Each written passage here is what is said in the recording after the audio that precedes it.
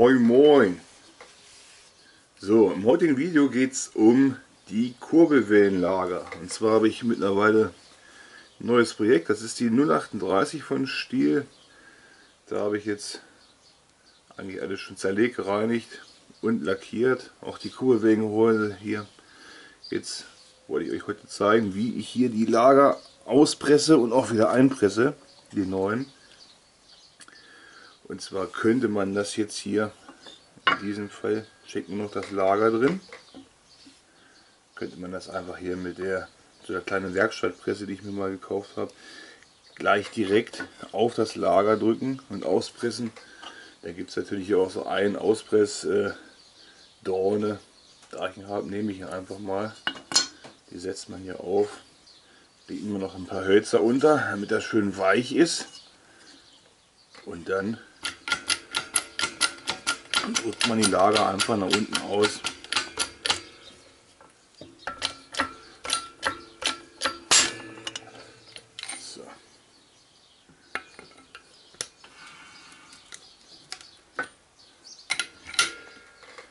Und dann hat man das Ganze auch schon in der Hand. So. Hier ist es, das alte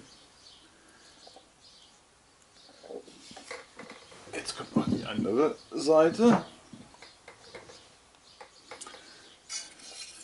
Da ist wiederum hier diese Durchgangsbogen, die, wo hinterher der Wellendichtring drin sitzt. Der ist wesentlich kleiner als das, als das Lager selbst. Deswegen müsste man schon mit irgendwas dünneren. Ich könnte jetzt nicht direkt mit dieser Presse hier arbeiten.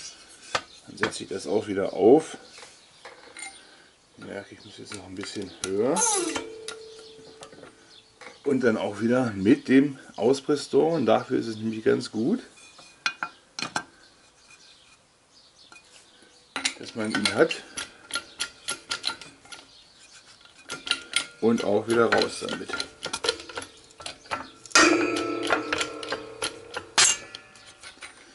So, das war es auch schon mit dem Auspressen Kugelwellenlager hier. Das ist das alte hier, vorratseitig. Und da, wie man hört, ist auch wirklich nichts mehr mit los. Das Kugelwellengehäuse habe ich jetzt äh, sauber gemacht. Die Fläche, wo das Lager nachher sitzt, leicht mit ganz feinen Schmiergeleien abgezogen, dass der schön glatt ist.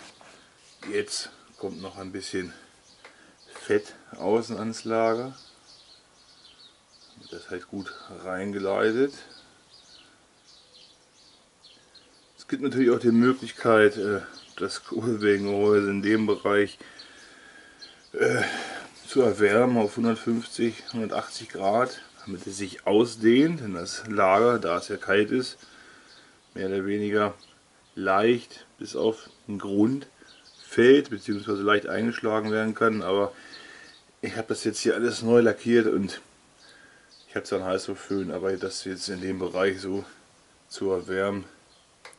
Ich habe eine, wie gesagt, hier so eine kleine Werkstattpresse. Und äh, jetzt hoffe ich, dass mein Platz auch reicht hier für meinen Einpressdorn. So, und los geht's. Darauf achten, dass man schön mittig drückt. Das auch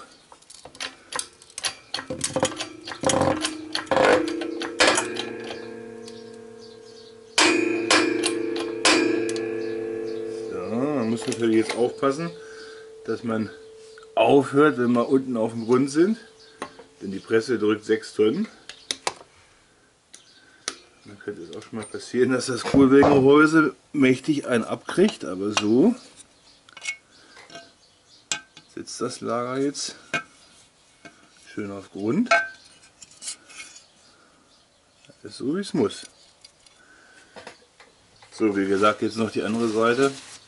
Da muss man sich am besten eine Fläche suchen, irgendwo am Kurbelwegengehäuse, wo, wo es dann halt parallel aufliegt und nicht gleich mal schief liegt, weil der drückt gerade und dann wird das Lager mehr oder weniger hier schräg reingedrückt und dann könnte es hier richtig Späne ziehen.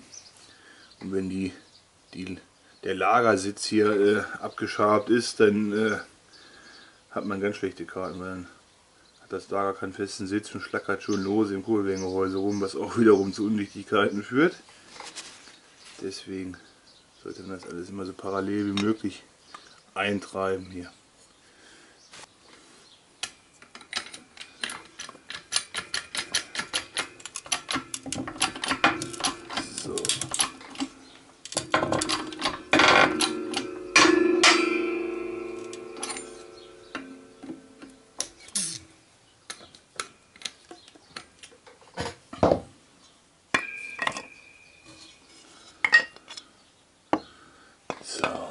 Das Lager scheint gut zu sitzen.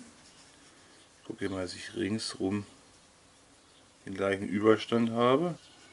Ja, das wäre geschafft. So drückt man also Kohlenlager aus und dann anschließend die neuen auch wieder ein. Einfach mit so einer kleinen Werkstattpresse. Man kann es wie gesagt auch mit Heißluftfüllen so stark erwärmen, damit sich das Material ausdehnt. Die Kohlenlager mehr oder weniger gleich gleiten bis auf den Grund.